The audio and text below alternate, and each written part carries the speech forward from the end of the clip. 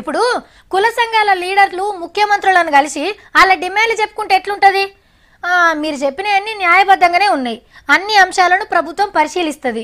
సాధ్యమయ్యే వాటికి ఇప్పటికిప్పుడే అమలు చేస్తాం. మిగతా విషయాల మీద మంత్రులు కమిటీ వేసుకుందాం. వాళ్ళు రిపోర్ట్ ఇచ్చినాక మరోసారి మనం అందరం మీటింగ్ పెట్టుకుందాం అని చెప్తారు సీఎంలు. ఇక అప్పుడు ఆ లీడర్లు ఆ ప్రభుత్వానికి మేము ధన్యవాదాలు తెలుపుతున్నాం. మాకు పూర్తి నమ్మకం ఉంది అని జై కొట్టుకుంటూ పోతారు. మరి అట్లుంటుంది కుల సంఘాలకు. ఆంధ్రాల నాయి బ్రాహ్మణుల లడాయి నడిచింది.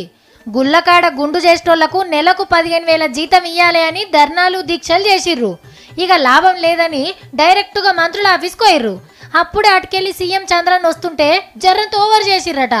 ఈకేముంది చంద్రాల్ సార్ మస్తు గుస్సా అయిండనుకో రాదుండ్రి ఒకసారి తోక చెప్పండి చెప్తాను మీ కథ మర్యాదగా మర్యాద ఇస్తాం పిచ్చాట్లాడితే మాత్రం చాలా సీరియస్గా ఉంది. ఇంకొకసారి ఎప్పుడైనా చేస్తే మాత్రం ఒక్కరు కూడా దూరాలు పెట్టి చెప్తున్నాడు పని టెంపుల్ కూడా రారు మనం బీ కేర్ఫుల్ ట్రాకింగ్ చెప్పారు మాట్లాడేది లేదు. ఏ ఇన్నయ్యా ఇన్నో మరి ఇన్నాళ్ళు ఇన్నాళ్ళు తినాలా ఏ ఇన్నాళ్ళయా అరస్తారా? అక్కడ ఉన్నప్పుడు ఇది ఫిష్ మార్కెట్ నమస్కారం పెట్టి చెప్తాను ఏం చేస్తున్నారు? మీరే చేయాలి సార్ మాకు. మీరు ఏం చేస్తారు చేయండి మీరే చేయాలి సార్ మాకు.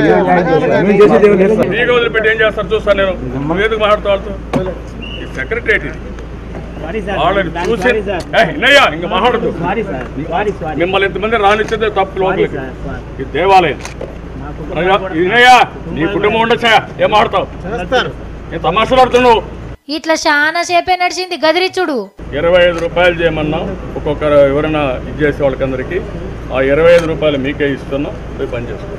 ఏం మాట్లాడక్కర్ ఇరవై ఐదు రూపాయలు చేసి ఇప్పుడు ఒక్కొక్క గుండుకు పన్నెండు రూపాయలు ఇస్తుర్రట సర్కార్ తరపున. దాన్ని ఇరవై ఐదు రూపాయలకు పెంచినా ఊకోలేదు. మాకు జీతాలే కావాలని చిచ్చు చేసిర్రు. కనీస వేతనం ఇప్పించండి. కనీస వేతనం ఇవ్వరాయా ఇవ్వరు? అని చెప్తాను మళ్ళీ చెప్తాను మళ్ళీ మళ్ళీ చెప్తాను కనీస వేతనాలు ఇవ్వరు. జీతాలు ఇచ్చుడు కాదంటే కాదని దండం పెట్టుకుంటా కారెక్కిండు.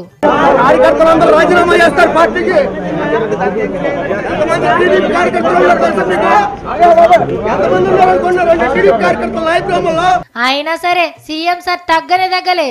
చెరువు మీద అలిగితే ఎట్లా అని అనుకున్నట్టున్నారు. ఇస్తా అన్న ఇరవై ఐదు రూపాయలకు ఒప్పుకొని మళ్ళా పనికెక్కిర్రు.